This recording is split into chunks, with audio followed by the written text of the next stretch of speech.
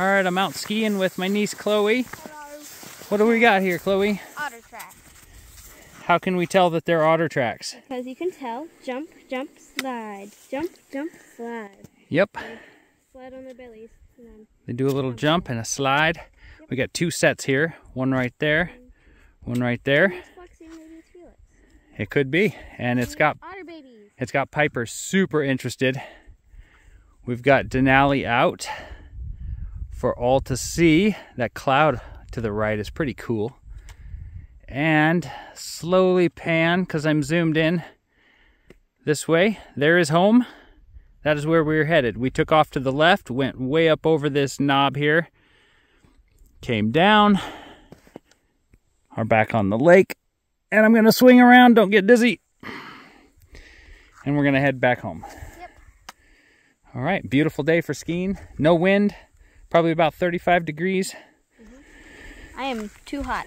Yeah, it's pretty toasty. All right, let's head back to the lodge.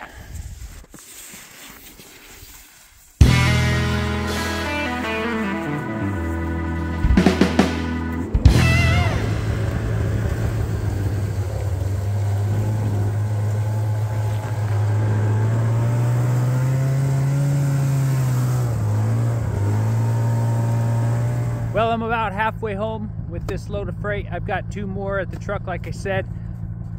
I was stopping to show you some tracks here. Zach and I have been seeing a lot of tracks.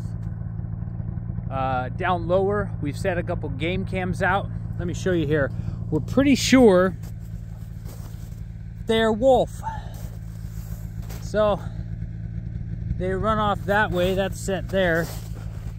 And uh, yeah, you can see those are, that's a pretty big track.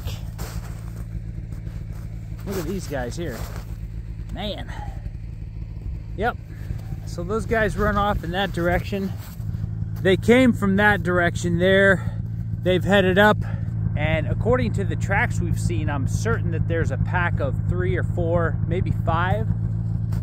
So they're they're out here. I've seen more wolf tracks this winter than I have all the rest of my winters combined out here. So I thank God that we haven't had a lot of snow this year. So that gives the moose a chance. Normally we'll have three or four, five feet on the level, and it's just too hard for the moose to get around, and they are easy pickings for the wolves. Uh, this year, two to three feet on the level, tops. And at least the moose can have a chance. The wolves still probably have the upper hand. Uh, they can outnumber them, they can flank them, and you know, hunt as a pack, obviously. But uh, at least the moose can run through this stuff. It's not chest deep on them. All right, I got to get back on the trail.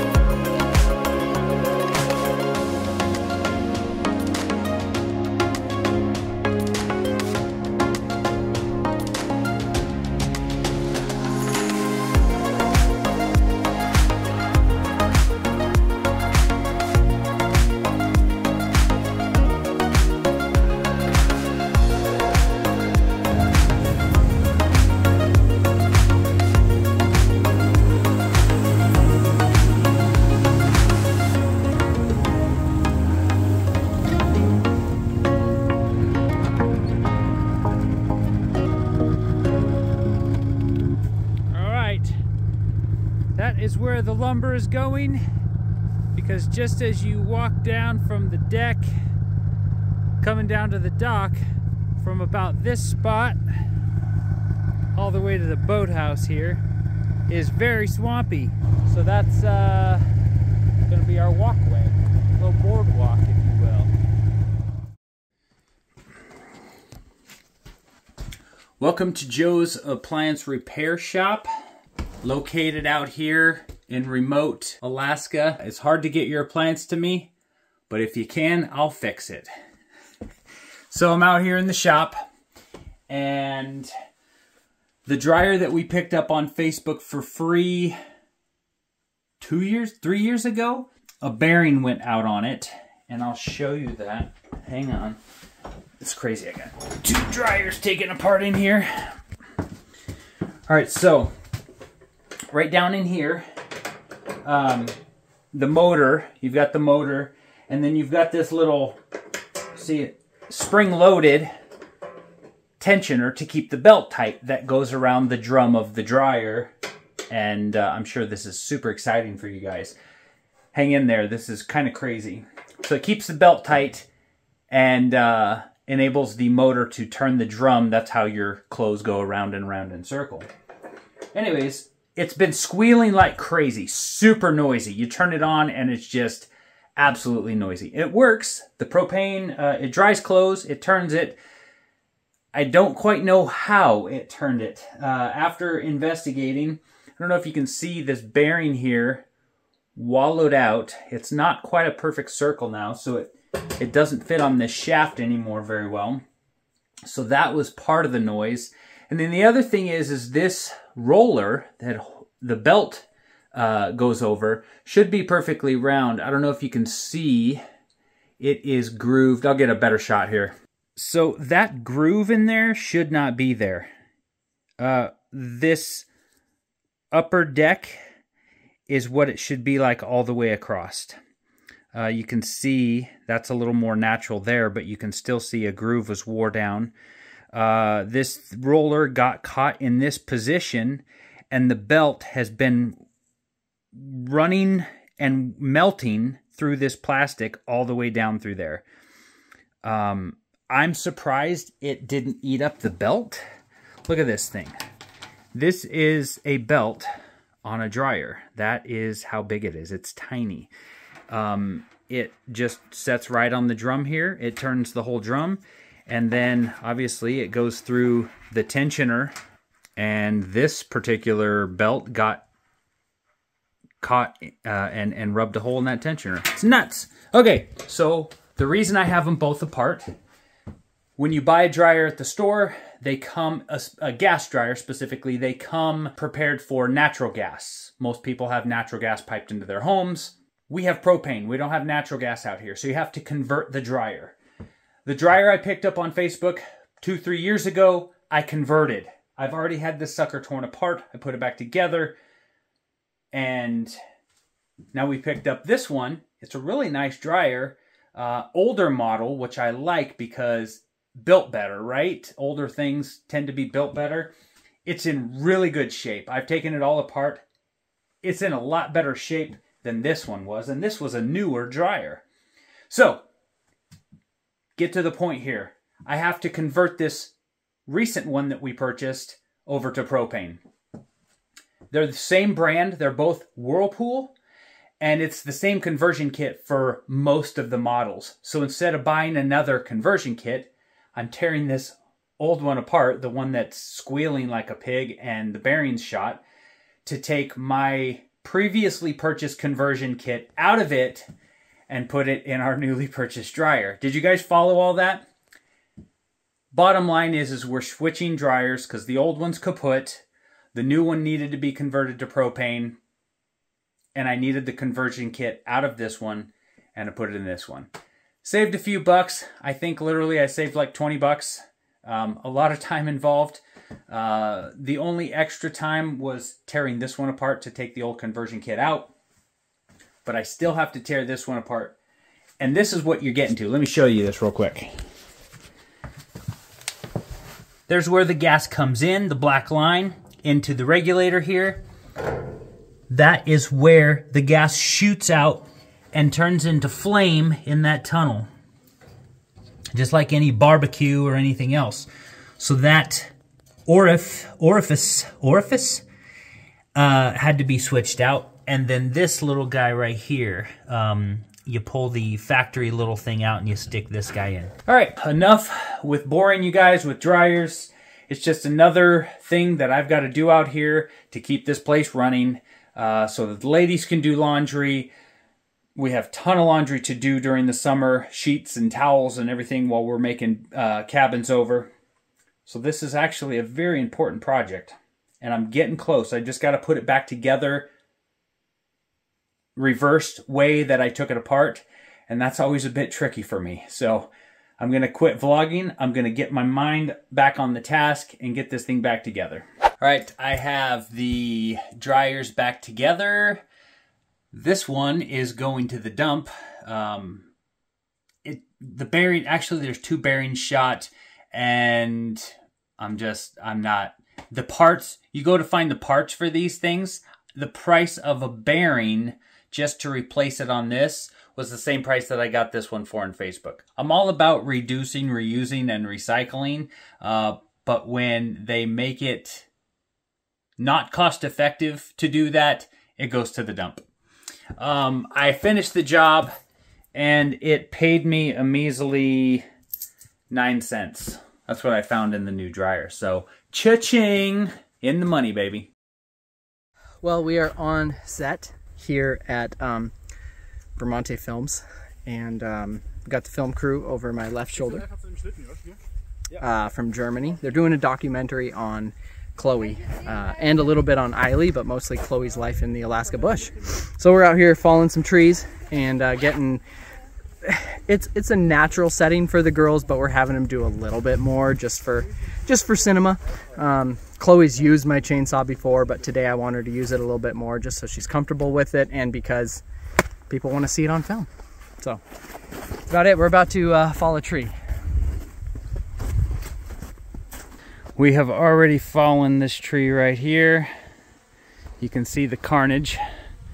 Got it loaded in the uh, otter sled here. If it does come this way, I'll just dive that way. Gotcha.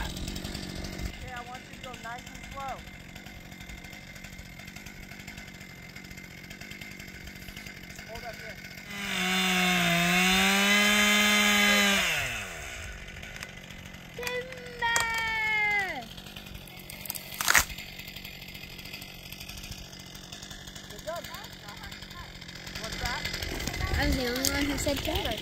Dad. Well, at least somebody did.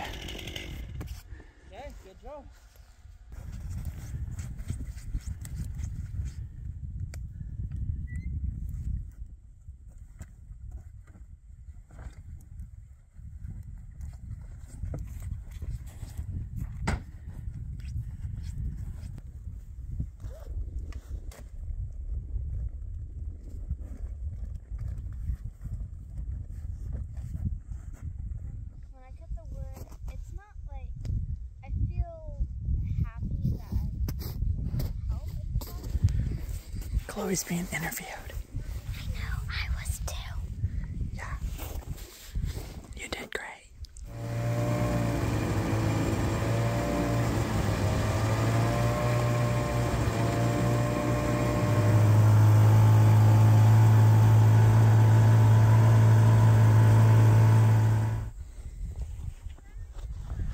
All right, so I'm sitting down here by my cabin waiting for my turn to offload the wood. Uh, they wanted Chloe and Eiley to drive up first with their machine and offload the little bit of wood that they had. So they're filming that right now. Um, we didn't get a lot of wood today. It wasn't really um, a full on, full effort outing to get firewood. It was more or less for the film crew to get some good shots of us getting some firewood. Um, more or less, Chloe and Eiley getting firewood with us, because that's what the documentary is about. Is Chloe and Eiley and their life out here. So I have to practice patience here because I'm like, Ugh. and they're like, "Can you do the shot again?" and uh, can you can we drive through that meadow again? And can we you know it's it's uh, doing shots over go, back and do it again. Um, and I'm like I'm the kind of guy that's like let's get it done. Uh, let's let's just go home. Let's get the tree fell uh, cut up in the sleds. Let's get it home. Take a deep breath Joe. Um, it's fun you know? You don't always get a film crew out here to film your nieces living this cool life. So, uh, you know what? If it wasn't for Zach uh, having the patience to get the camera out, we wouldn't have this vlog most of the time. So, I'm learning patience. Uh, it's all good. Anyways, it was a fun outing. Uh, we did get some firewood, so we accomplished something. And, uh, you know, there'll be a, a cool documentary about Chloe and Eiley in German one of these days. All right, sounds like I'm going to be up here soon.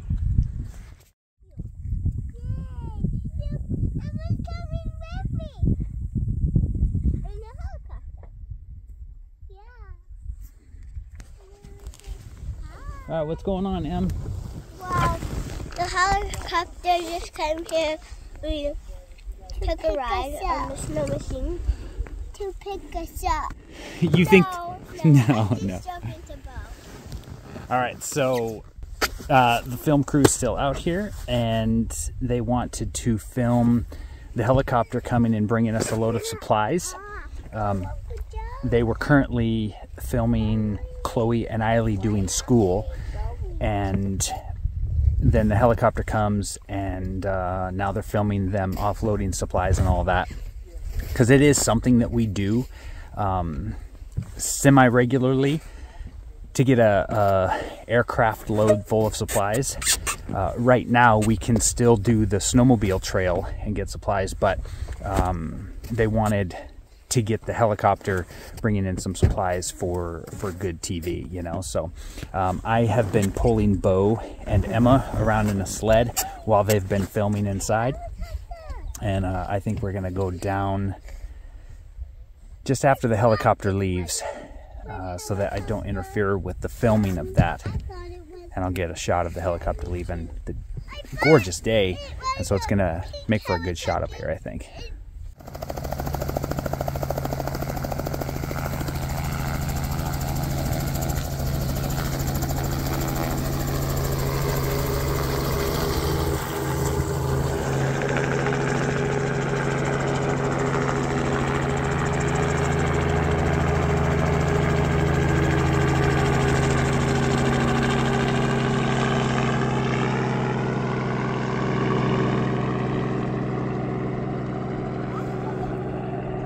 Right, what do you think, guys? Good. Cool. All right, let's go down and see what kind of supplies we got. Yeah. Yeah. I wonder if I got it. Maybe. All right, let's go find out. All right, I'm taking the kids out on a snowmobile ride. We're packing trails. We've had a terrible windstorm uh, over Easter, and uh, it was 40, 50 mile an hour gusts. Just and and it was snowing. Uh, it called for like five to 10 inches, so we did get a lot of snow. No way of knowing exactly how much we got because of all the wind. But I've got, like I said, the kids out on a ride right now, and it is just gorgeous uh, up here. April 1st, and we found this nice little cornice. Uh, well, at least a, a snow edge. I don't know if you can see it there, but the kids are gonna try to slide down it. Eileen's going first. She can pack down a trail for me. All right, go for it, Eiley. The test, the test. Uh, I don't want to call you a test dummy, but you're, but you're the test dummy. Okay. I'm fine with that as being called that. nice. That's a long run. That's so fun!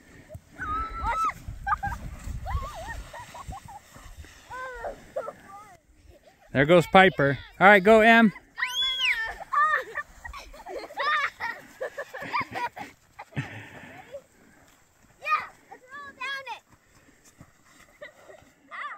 All right, I'll come pick you guys up.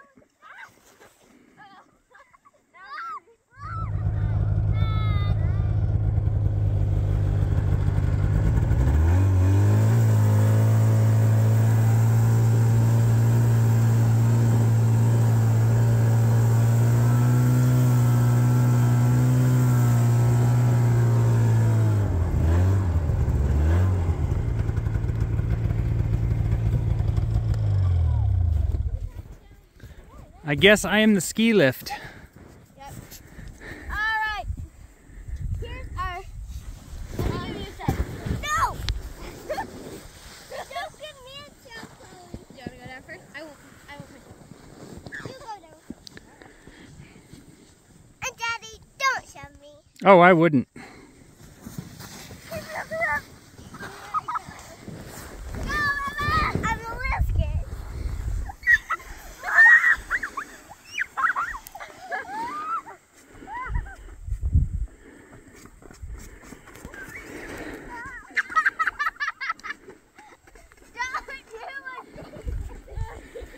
Well, they want me to go down, but then no one's up here to drive the machine down and someone has to climb back up.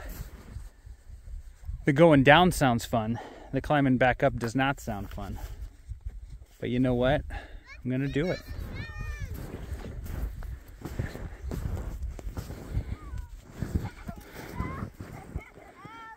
All right. Say goodbye to my ride. Piper watching. All right, here I go.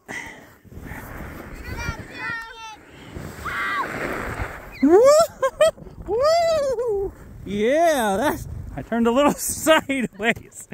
Ah, okay. Yeah, we're good. We're good. We're good. I know. That's what I said. All right. Let's see what it looks like from here. I think I can make it up this hillside. There's just enough crunch. There's just enough crunch in the snow to where I can kick in some toe holds. And I think I can get straight up this incline. Goodness. Can you guys tell how steep this is? Let me go the other way. Turn around. Here we go. I don't know if the uh, the video shows the enormity of the angle here. It is way steeper than a 45. Almost to the top.